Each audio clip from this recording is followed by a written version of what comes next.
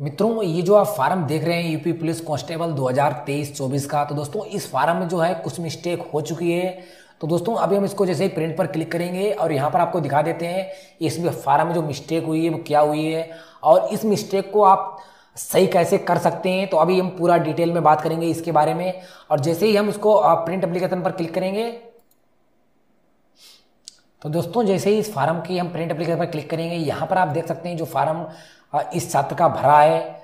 तो यहाँ पर जो है एस जो लिखा है, आप देख सकते हैं, ये जो छात्र हैं, वो ओबीसी के छात्र हैं। तो दोस्तों, इन्होंने किसी दूसरे जनसेवा केंद्र पर जो है फार्म भरवाया। वहाँ पर जो है इनका जो फार्म है ओबीसी में भरना था और एससी में भर दिया।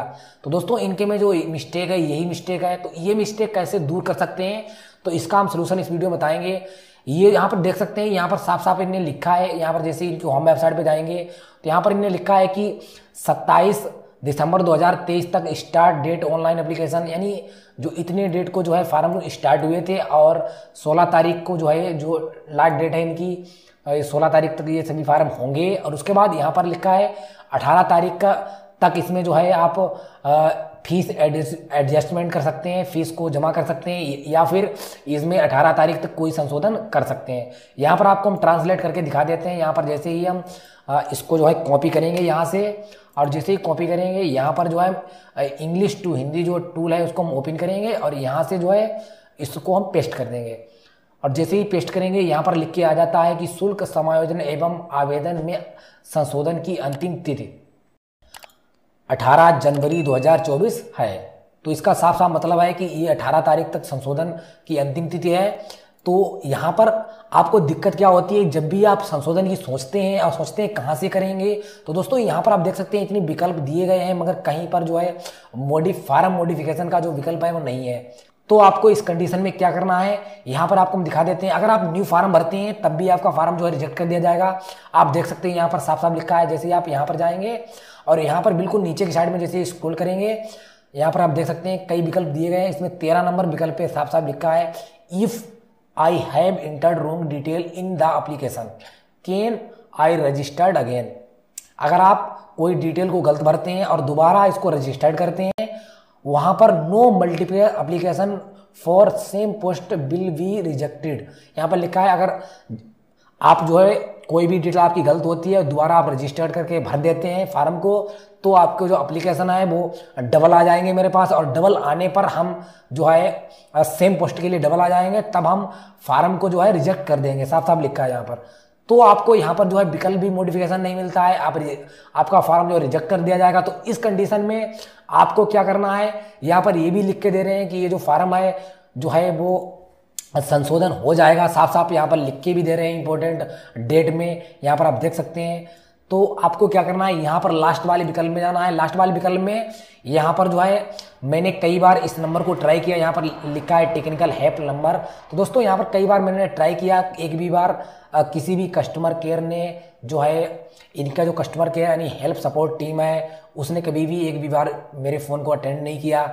यहाँ पर आप देख सकते हैं इसकी जो टाइमिंग है वो 10 से 6 बजे 6 बजे पीएम तक है तो दोस्तों, आप सोच सोच लो कि कितने फार्म पढ़ते होंगे, कितने करेक्शन होते होंगे तो बहुत कम जो है इनका नंबर जो है उठता है। तो इस कंडीशन में आपको क्या करना है? तो दोस्तों, ये जो फार्म है, क्या ये सुधर पाएगा? कैटेगरी रूल में सुधर पाएगा? नहीं सुधर पाएगा? तो यहाँ पर एक आपके पास विकल्प होता है कि आप इसके लिए क्यूरी कोई जो है डाल दें कि हमारा जो फार्म है, ये ये मिस्टेक है। तो मेरा जो फार्म है, ज़रूरी है सही करना। तो यहाँ पर आप, यहाँ पर लिखा है for more queries click here और इसमें जैसे ही क्लिक करेंगे, अगर आपकी कोई मिस्टेक है, जैसे नाम मिस्टेक है फ़ोटो मिसमैच है, कोई भी मिस्टेक है तो आपको यहाँ से अपनी एक क्यूरी बनाकर उनके पास भेज देना है। तो दोस्तों क्यूरी किस तरीके से बनाएँगे, यहाँ पर आप देख सकते हैं कि अलग अलग समस्याओं के लिए अलग अलग जो विकल्प हैं, वो आपको सेलेक्ट करने होंगे। तो यहाँ पर जो है, मेरी कंडीशन में यहाँ पर जो आठ नंबर विकल्प है if my D O B or category यानी यहाँ पर लिखा है category is entered wrongly can I change later तो यहाँ पर क्लिक करेंगे और जैसे ही क्लिक करेंगे, यहाँ पर साफ़ साफ़ लिख के जो है आ रहा है कि यहाँ पर लिख के आ रहा है no you have carefully review all enter detail before submission each stage any detail entered can not be edit later after submission तो यहाँ पर साफ़ साफ़ लिख के दे रहे हैं कि अगर आपने कैटागरी आपकी गलत है तो आप जो है सबमिशन के बाद इसको चेंज नहीं कर सकते हैं। इसमें लिखा है तो इसके लिए आपको क्या करना है, यहाँ से एक क्यूरी ज़रूर डाल दीजिए, यहाँ पर अदर पे जाकर। और जैसे ही अदर सेलेक्ट करेंगे, यहाँ पर जो है कांस्टेबल सिविल पुलिस को सिलेक्ट करेंगे, उसके बाद यहाँ पर स्टेज में प्राइमरी स्टेज सेलेक्ट कर लेंगे। इस इस सिचुएशन में जो अपने, मेरी सिचुएशन है यहाँ पर अपनी ईमेल आईडी डालेंगे और जो भी नाम है आपका वो नाम डालेंगे यहाँ पर। और यहाँ पर जो क्यूरी है क्यूरी में अपनी पूरी समस्या को पूरा फिल कर देना है और जैसे ही आप फिल करेंगे और उसके बाद जो स्क्रीन है, इस फार्म का, यहाँ पर जो फार्म मैंने यहाँ पर निकाला है, ये फार्म इसका इतना स्क्रीन लेकर और इसको हाईलाइट करके यहाँ पर आपको जो है अपलोड कर देना है यहाँ पर। यहाँ पर आपको सौ कभी से कम रखना है और अपलोड कर देना है सबमिट कर देना है। तो यहाँ पर जो क्यूरी है, इनके पास पहुँच जाएगी। ये दो दिन में आपका जो है, दो वर्किंग दिन दिन में आपका जो है रिप्लाई दे देंगे। वहाँ से रिप्लाई जो भी देते हैं, उस तरीके से आप जो है, देख लीजिए। उसके बाद यहाँ पर आप देख सकते हैं कि इनका, इन्होंने साफ़ साफ़ लिखा है कि हाँ जो करेक्शन है, वो हो जाएगा। तो दोस्तों, इनके पास अगर ज़्यादा क्यूरी जाती है तो हो सकता है ये जो यहाँ पर जो है, मेरे हिसाब से सोलह तारीख के बाद ये जो है, यहाँ पर कोई विकल्प दें या फिर करेक्शन का कोई विकल्प वहाँ पर दें, किसी तरीके से जो है वो आपका जो करेक्शन करने के लिए जो है ये विकल्प दे दे सकते हैं। तो दोस्तों, आज का वीडियो मैंने इसीलिए बनाया कि फुल इन्फॉर्मेशन दी जाए, जो भी फार्म गलत होते हैं। तो दोस्तों, इसका सोल्यूशन ये नहीं है कि आप डायरेक्ट जो है दूसरा फार्म भर दीजिए। दूसरे फार्म में आपका जो फार्म है, दोनों रिजेक्ट कर दिए जाएँगे। तो इसलिए आप दूसरा फार्म ना भरें। जो फार्म भरा है, वो भरे रहने दें। आपको जो है वेट करना है।